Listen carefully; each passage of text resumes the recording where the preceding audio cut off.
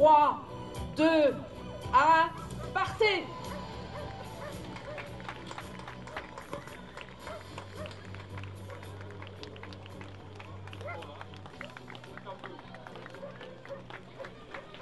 Et tous nos encouragements également aux deux réunionnais luxembourgeois présents sur la course. Sans oublier Brice Dijoux, euh, ancien Morbihanais qui sera certainement dans, dans le top 20, voire mieux cette année.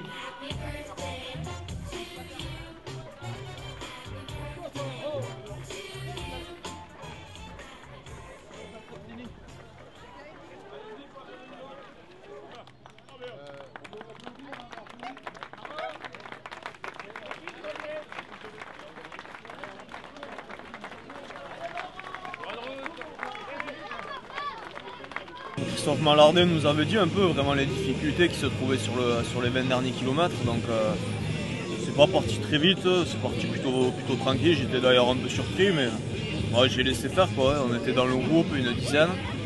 Euh, je savais qu'il fallait pas s'affoler. Voilà, puis c'était ma première distance aussi longue, donc euh, je savais pas trop comment j'allais réagir. Donc je préférais rester sage. Quoi. Jusqu'au 20e à peu près, là j'après passé devant. On s'est retrouvé à 4 ou 5, 5 on était à peu près. Voilà, le rythme était déjà un peu plus soutenu, hein, ça commençait vite à trier quoi. Euh, jusqu'au ravitaillement. Après le ravitaillement, là au 22e, on s'est retrouvé à 4. J'après est parti un peu devant, quelques longueurs d'avance. J'étais encore avec Cyril euh, du team et, un autre coureur. Et un peu avant le barrage de Guerre-les-Dents, je sais plus à peu près, ça doit être au 30e kilomètre à peu près. Je passais donc là en seconde position avec Cyril. Euh, j'ai vu que je commençais un peu à le distancer, donc euh, bon, là j'étais vraiment bien, une bonne sensation tout le long. Euh, j'avais Laurent Jean-Pierre à portée de vue, j'ai Information qui a son regardé à peu près à portée de vue, je savais que je pouvais revenir à tout moment, j'avais de bonnes jambes, j'ai vu que petit à petit je revenais jusqu'au deuxième ravitaillement. Là, il s'arrêtait pour remplir. moi, j'ai rempli ma gourde, j'ai eu un peu plus vite fait que lui, donc je suis reparti devant.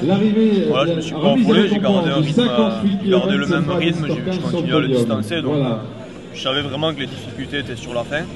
Et euh, donc après, arrivé au 15e, bon, ben, voilà, j'ai tout donné. C'était quand même dur, c'était vraiment dur la fin. Il était facile vraiment jusqu'au jusqu'au 45e. Quoi. Après, vraiment, les 18 derniers, 15, derniers étaient durs quand même. Voilà, la différence était faite. Et puis voilà, je pense à tout ce qui me soutiennent et tout, et ça donne des forces. Et, euh, du monde tout le long aussi, ça motive. Voilà, on serre les dents et puis on attend la fin. C'est l'arrivée du premier garçon. C'est un tout jeune garçon qui remporte sa deuxième victoire au niveau national. C'est Guillaume Boxy du Team Salomon. Le Haut-Pyrénéen de 22 ans qui pour sa première année en trail remporte donc cette édition 2012 de Gare les Dents. C'est un énorme exploit qu'il vient de réaliser. Ah, c'est la plus belle, ouais, je pense quand même. C'est quand même euh, un parcours que je connaissais pas, et puis c'est quand même roulant quoi. Au bout de 5 heures grosse moyenne comparé à Font-Romeu, c'est quand même. s'arracher une dernière fois c'est la plus belle victoire de l'année. Il avait tout simplement remporté l'épreuve l'an dernier. Il est encore exact au rendez-vous cette année avec cette deuxième place pour Laurent Jaffré.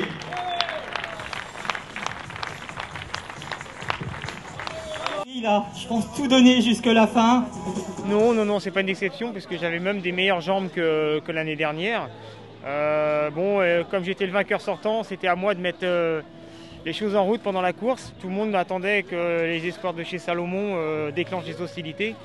Mais je voyais qu'ils étaient sur la réserve. Du coup, dès les premières grosses difficultés, c'est moi qui ai lancé la course, on va dire.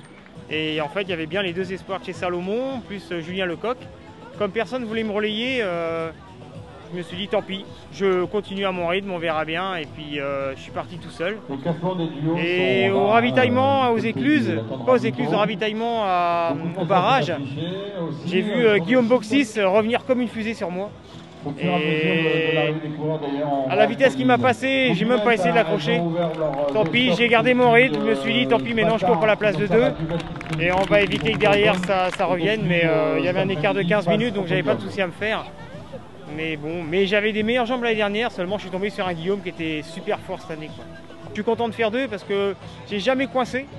J'étais toujours vraiment bien et voilà, c'est le plus fort à gagner aujourd'hui.